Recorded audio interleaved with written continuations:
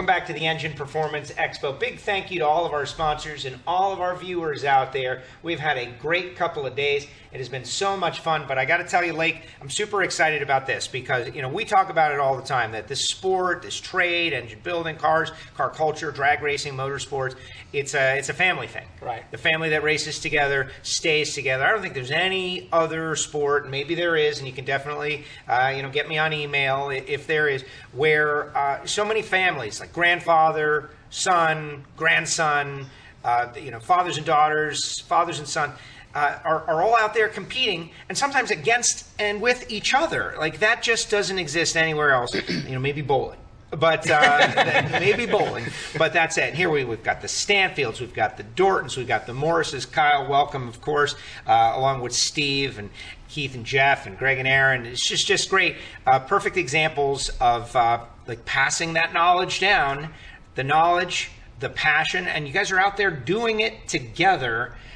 Like that's that's what people dream of to be able to keep the kids interested, out of trouble, moving forward, and doing something that's going to like benefit their life. And you get to do that every day, Steve. Yeah, it's a uh, yeah, it's it's a blessing, and I'm I'm thankful for it. I mean, uh, outside outside of uh, making sure that we don't uh, kill each other or because we see each other all the time. He just recently moved out of the house, so that's been good. It's given us a little bit of separation.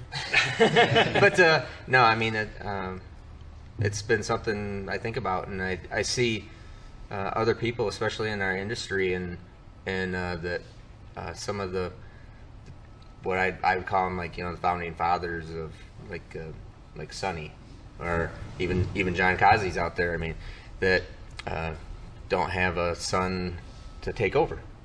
You know, and so I'm just very thankful for that. I I think it's Well, you just shared a story about a machine shop owner. You're 21 years old, and he's like trying to, you know, sell you his shop because there's no one else, and you, you you've got all this knowledge and passion, and you want to you want to share it, right? You want to share it, and you, you fortunately you have someone to share it with, Keith.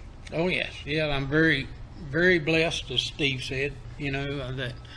Uh, you know, when I started the business, uh, you know, Jeff was just. You know, of course, he wasn't born when I started the business, but you know, we're trying to make it grow and trying to pay the bills. So, his first years, he was he was almost like a single had almost like a single parent because Dad was always working Yep. And it was only when he got up in age that you know hey i'm missing something you know so we started go-kart racing and it evolved and then our relationship become closer and uh, of course then when he you know at that time also he was sweeping the floor helping learning you know where boats go and Yep. all of that and uh, Things back where you found them. Yeah, and, and now you Aaron, know, Jeff, and Kyle, we, all, can relate to all this. Now it's reached the point where he's teaching me, you know. So, and I'm sure you're finding the same thing, uh, you know, both of you. That now what he, that. the big thing is the big thing is these uh, the electronics that you know. Gosh, I'm too old to learn, you know. So, but even the mechanical stuff. Uh, when he went to technical school, you know, I didn't have any training, so he was able to teach me. Well, this is the way you machine this part. So, uh, you know, I wouldn't take nothing for the relationship. Of course, if you come to our shop, you know, it's uh, Jeff myself, my wife, and my daughter, and quite often the two granddaughters. So, you know, again, we're very blessed. You know, ain't all old roses, but but we we certainly, uh, you know, uh, it, it's just such a blessing to you know be your family. I don't I don't know how people do it that their children or their grandchildren live on other parts of the country and you only get to see them at Christmas or whatever. So, and I, I'm sure you guys feel the same way. you know. Greg, what, what about you? You know, Well, your, ours- your son has followed in your footsteps. You're obviously you guys are together. You're happy. He's got a grand. He's, you've got a grandchild now, but ours is a little different because you know I know not only build the engines, we race. So you know we're racing together as long you know as well as building engines together. So we're you know it's we get to work hard in the shop and we get to go race and enjoy it. So uh, it's definitely he, he's he's helped me a lot and keep me in this sport and keep me going. Without him, I probably wouldn't be here. You'd be on the beach. Probably. So, yeah, we hear about the cocktail with the umbrella. Yeah, I I hear still about try that. to sneak off He every still now and then. it's like, where's Dad? He's gone. He's on the beach. He's on the beach. Jeff, uh, what what about it? You know, working with your dad. There's, uh, you know, if you watch modern culture, movies, books, there's so many storylines about the, uh, you know, the hard-headed relationship between fathers and sons, and a gross disagreement. There's a saying about, you know, like when I was 20, my dad didn't know anything, and when I was 30, he knew everything. You know, what, what what's your uh, opinion of working with your dad and the relationship? Well, it is it is a blessing, and um, when you think you're right and you think he's wrong, and you better you better think twice because normally he's not wrong. yeah, so, but uh, we do work well together, and um, know, it's just I don't really consider it work. It's something I enjoy doing, and uh, uh, I'm very blessed. Did you ever consider not getting involved in the, the engine trade or following down the road your dad has blazed? Uh, you know, there are other other people. We had a, a young man in here yesterday. He's going to work on skyscrapers, right? It's like, hey, I'm uh, I'm going to do something a little bit different.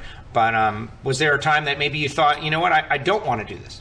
No, um, I've always had the interest in engines, and um, there was a point in time, and I've had opportunities to, to go to the, you know, the Cup guys. Um, glad it didn't, because none, of none of those are still here. uh, so um, it's, uh, yeah, I, I've always had the interest in engines and trying to make things better, and, uh, and it's worked out very well. Kyle, you're the uh, the youngest among the, the kids in the group. Um, you know, what's your opinion of the business following down the road that your dad has blazed to the trail, getting involved in the family business? Obviously, you want to sustain it, you want it to thrive, and maybe you are bringing some new ideas new generational ideas. Uh, you know, I think about exposure on social media. I think about, I know you guys have a YouTube channel. I know that you guys have embraced a lot of uh, that. What's your take? You don't think Steve started that? Well, he did. Actually, I did. I'm just trying to keep it going. But there you go. Yeah, He, so he brings in the, the more youthful side. I, I see things that I think are, oh, that looks really neat. That's really cool. And he thinks, those wheels are that, Oh, that is yeah. so 1980s. I'm like, oh, wow, oh, it's it's cool. very dated, and then it's just like I try to bring the cutting edge opinion. I try to keep my finger on the pulse of like what people are thinking in drag racing a lot, and try to bring that to him, to his generation, and then he brings a lot of good generational knowledge back to me. And I think we work really well to, together that way. And since you're talking about that, like, where do we, the older folks, find out the pulse of the drag racing community now? if you want to share it with us, we'll listen. Yeah, I mean, anything from just watching the television to scrolling through social media. I mean, I know like that's like one of the biggest complaints that it seems like the older generation has on younger guys. It's like, oh, you guys spend too much time on your phones, but. That's kind of where I'm. Yeah, I know. That's, that's kind of where like we're learning some of this stuff from. You know, different social media pages, watching different YouTube channels. There's a lot of educational material available out there. Wait a second. There's actual information out there? Yeah, on the internet, they do have accurate information. You're not just looking at now. other people's lunches. Uh, you know, they're tweeting photos of their meals. Well, there's that too. Okay. You're sure it's all accurate? Not, not all of it is accurate, but there's getting to be a point now where like um, there's beginning to be a lot more accurate information put out there. Excellent. Do you find that, uh, and, and, you know, for the for the younger guys in the crew here, um, people of your age, Aaron's 27, you're 21, Jeff, you're a little older. I'm an old guy. What about your, you know, your your uh, your peers? Interest in the automotive culture, engines, speed. Like when you talk to people, that maybe you went to school with, right? And not everybody is into this, but are they interested? Like, what's the uh, the outside view of people your age of what you do? Right. From outside of the industry, it's a tough one to say, but I went to this uh, University of Northwestern Ohio, and almost everybody they went to school with, they all have a passion for the sport, but the trades are just paying them so much more money. They like nine times out of ten, they end up going right from UNOH to a trade school, or they'll go right into the trades or become welders or whatever. But um, yeah, Aaron, what about you? I think uh, you know social media is a big, big, big platform. I mean, I have friends that, that that's followed y'all's YouTube page. So I think that's you know that's pretty pretty cool. Y'all have had an impact on people outside of drag racing or motorsports. So I think y'all y'all are doing great. Keep keep that up. But um, like as far as social media goes, I mean we wouldn't be seeing this information, this this great stuff here um, without without it. So um, I think it's an important tool. So I would say the the young guys could we, we can definitely definitely help with with, with those things. Well, I think there's been a misconception. I'm gonna call it a misconception that the younger generation is not interested in motorsports. Yes. That they don't have cars, they have phones, they don't want to have the license and all that.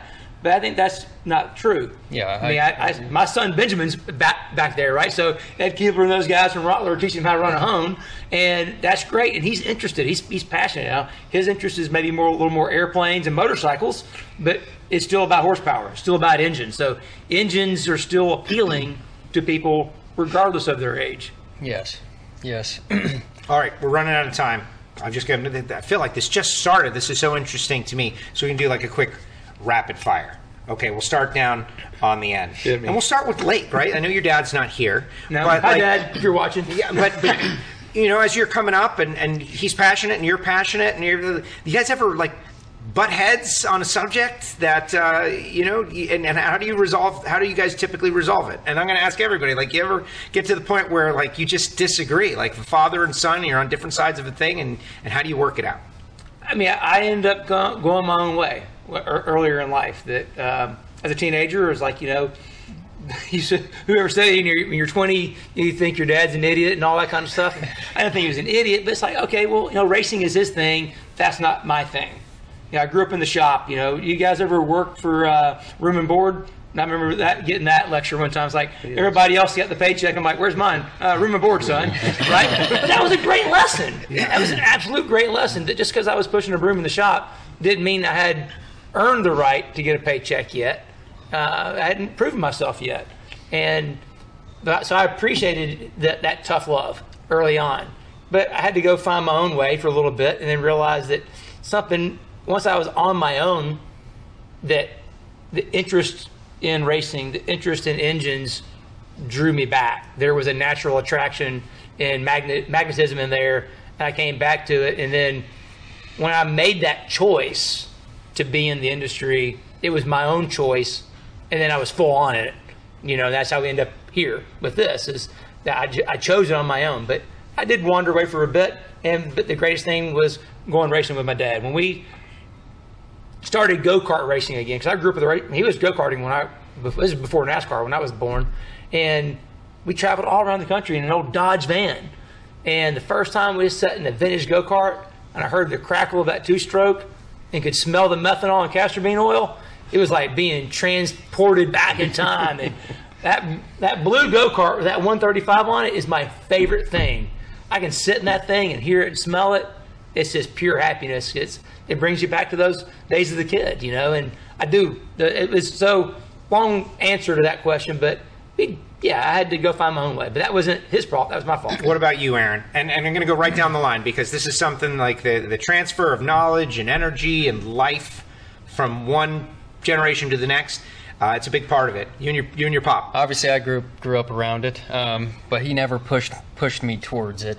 Um, I went went to college and, and just kind of made my own own decision that, that I wanted to do it, and he was ready to get out of it at the time, and so I drug him right back in. And I tried to make him clean parts like Yeah. every day.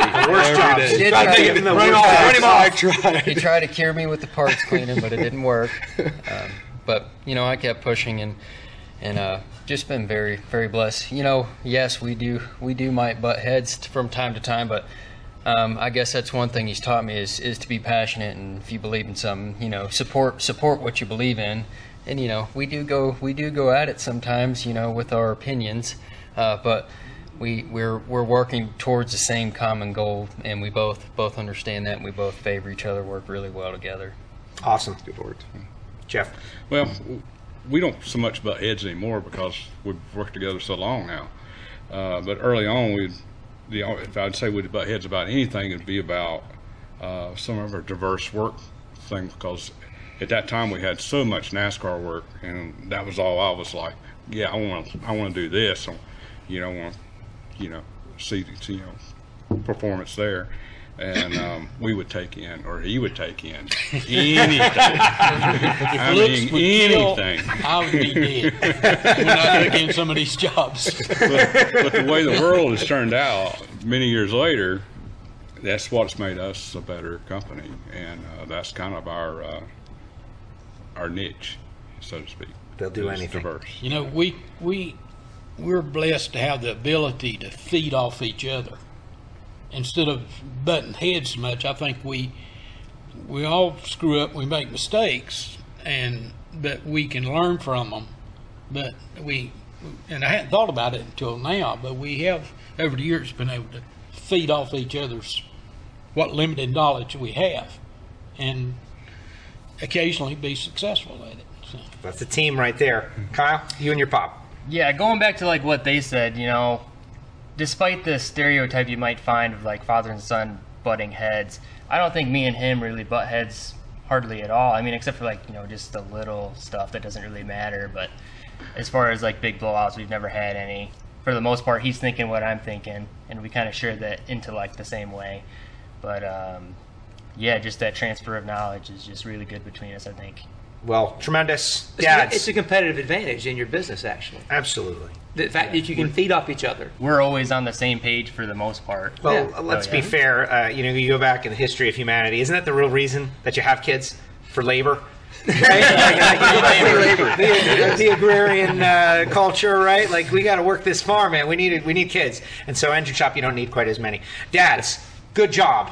Good job with the kids, dads. And kids, keep it going, make them proud. Thank you very much, guys. Uh, just a great uh, thing. Uh, hopefully, my dad's out there watching as well. Dad, miss you. Uh, next thing we're going to talk, we're going to talk, uh, you know, engine balancing, and that means Mr. Randon Neal is up on board CWT. Let's find out what he's got.